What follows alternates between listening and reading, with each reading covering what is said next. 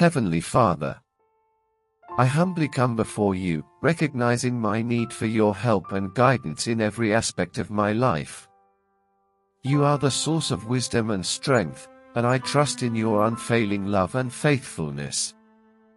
Lord, I surrender my plans, desires, and worries into your capable hands.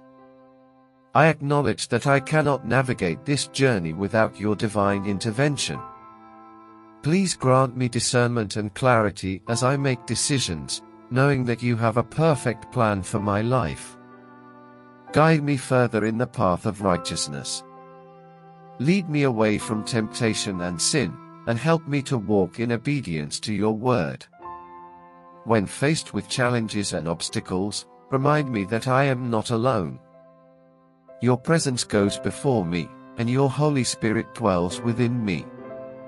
Strengthen me in times of weakness and grant me the perseverance to never give up. I rely on your grace and mercy to sustain me. May my thoughts and actions align with your purposes, bringing glory to your name. Thank you, Father, for your unconditional love and for the promise that you will never leave me nor forsake me. I am confident that with your help and guidance, I can overcome any challenge and fulfill the purpose you have for my life. I surrender all to you and trust in your perfect plan. Your word in Isaiah 30 verse 21 says, Whether you turn to the right or to the left, your ears will hear a voice behind you, saying, This is the way, walk in it. Let this truth guide me always. To you, Father, I give all the praise, honor, and glory. In Jesus' name, I pray. Amen. Thank you for watching.